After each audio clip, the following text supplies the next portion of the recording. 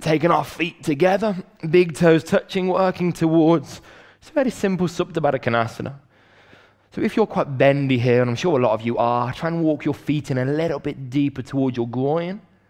Maybe take the backs of the hands midway between your knee and your groin. Palms facing up, begin to ease the knees apart. So you don't need to get super deep here. You don't get any extra bonus karma points if your knees are touching the floor. Just make sure you can feel it.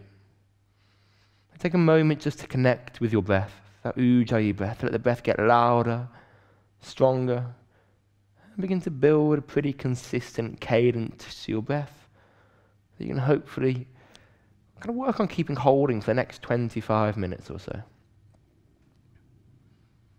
Keep the legs easing down, keep the lower back itself easing down.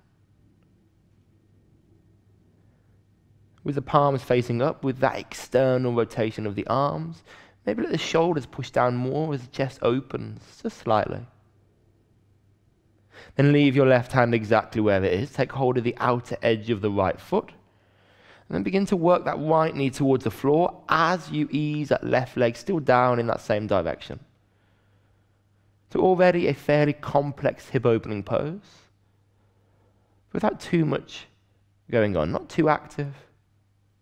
Just start to wake up some muscles around that very complex area.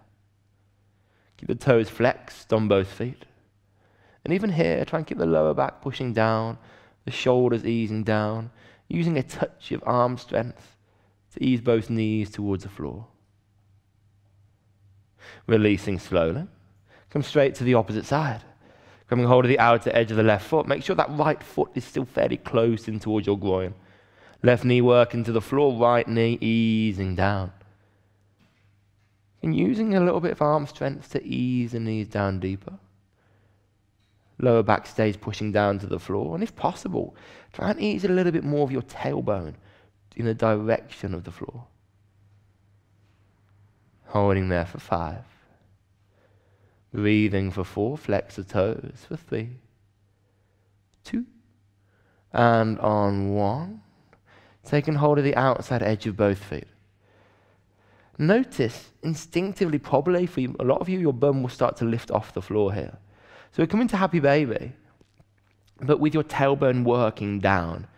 And this is kind of about a compromise. Yes, you want your knees to come deeper, but you also want your tailbone to try and ease towards the floor, trying to lengthen out the back.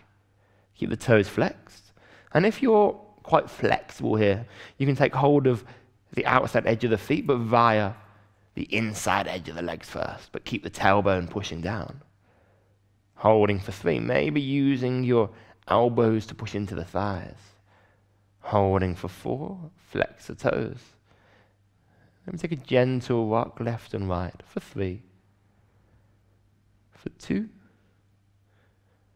and one. At any point, you can just pause this video and just stay in a posture for a little bit longer.